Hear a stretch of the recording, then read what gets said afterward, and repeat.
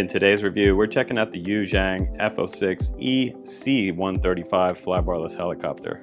Welcome back to the channel, my friends. Today we're going to check out the F06 EC-135. It is a flybarless helicopter that has four rotors on there. The F06 is a ready-to-fly helicopter, and it does come in at about $219. The rotor diameter is about 333 millimeters from tip to tip, and it has a 350 millimeter front to back fuselage. Our heli came with one battery and it is rechargeable by USB-C port on the side right here. It should get us about 8 to 9 minutes flight time. It has two clips in the front to help snap it into place and it has a port for adding an FPV camera on the front of this helicopter. And I love the way the back of the helicopter looks with the brushless motor and the blade here and the fan system.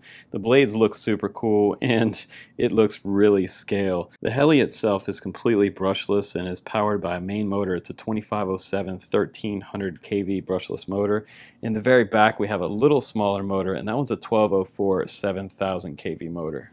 And the remote itself is operating on 2.4 gigahertz. It also takes four AAA batteries in the very back, and it does have the bubble gimbal style sticks like I've talked about before. But the good thing is it doesn't feel super laggy and robotic when you're controlling it. Now the controller has all kinds of buttons on here.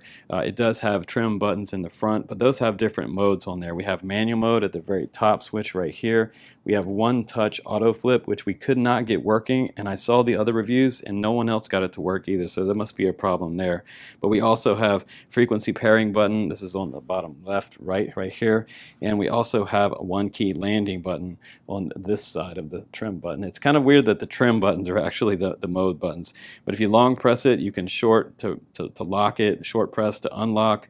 You can do a push button power mode on switch as well right here. And so that will help unlock it. The way you unlock this helicopter is sticks down into the outside corners, and that will enable the main rotor. You can go into manual mode by the top left button on the trim right here on the vertical trim button, as well as optical flow button is on the very bottom on the same trim button here. So um, very interesting remote, but seems kind of lacking for other heli systems out there. I also believe that this one can be paired up with other types of radio master controllers, so stay tuned for more information on that. You should be able to get rid of this controller should you not like it. But other than the transmitter, I really like the Heli. I think I might end up trying to bind it to my 4-in-1 module on my Radio Master controller. So I also like that it has four rotor blades on here, great scale looks for the body, and it's a 300 class size Heli, which makes it super stable. Optical flow on here also makes it easy for beginners. And just to drive that point home, we're going to have my seven-year-old son fly it today, and it's his first time ever flying an RC helicopter, so that should be interesting. The optical flow and stability positioning hold is really going to come in handy with him while he's learning the sticks for the very first time. Let's go ahead out now and give it a flight test and see how it performs. All right, guys, here we are at the field. I'm here with my son Keith, I mean uh, Ninja Man today, and Ninja Man's gonna fly the EC-135 for us. It has six channels on here. It's also six axis gyro. It has one key automatic inversion. So we're gonna see how that works out, but it also is supposed to have full manual flight and full stabilities. But I love the way this one looks. I think it looks super cool. What do you think? Yeah. You like yeah. the way it looks? Yeah, I like the way it looks. Are you ready to fly it? Yeah. Okay, let's do it. We're gonna fly it together. Keith, you're gonna go first. Here we go. Okay, let's go ahead and plug in the battery. All right, we're gonna get it flat as soon as possible so the gyro is initialized properly. And to be able to arm this, what we're gonna do is the sticks go down and to the outside, kind of like a lot of drones you've seen before. Down and out, and that should get the heli moving. There we go, it armed it. So now all we have to do to come off the ground is just push up, okay, on that left stick, and we're off. Now you're flying the heli, Keith. Push forward like that. So now we're flying like pure line of sight together. Oh. Isn't that cool? It's yeah. like a real live video game. Yeah, it's like a race car. you're doing really good. That's fast. So Keith, this is your first time flying a helicopter. What do you think? Yeah, I like it. You're doing a good job, full. Doing it all by yourself right now. That is awesome. Good job, buddy. I have a future drone camps pilot right here, you guys. Keith's gonna turn eight years old this summer. So he's seven years old, learning how to fly heli. And he's doing it all by himself right now. So one key inverted flight. Isn't that cool? What do you think about that? Look at that, you're doing that all by yourself. Good job. So right now you should be in like speed mode number two. So uh, he's getting this really fast. Like kids learn RC so fast. I'm just helping you turn back to the field there so we don't want to be over the concrete.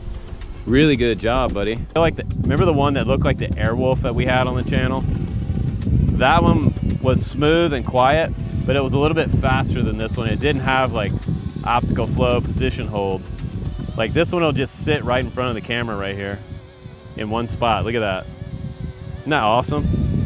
I always feel like I could reach out and touch it, but I'm not even gonna, I'll get my finger chopped off.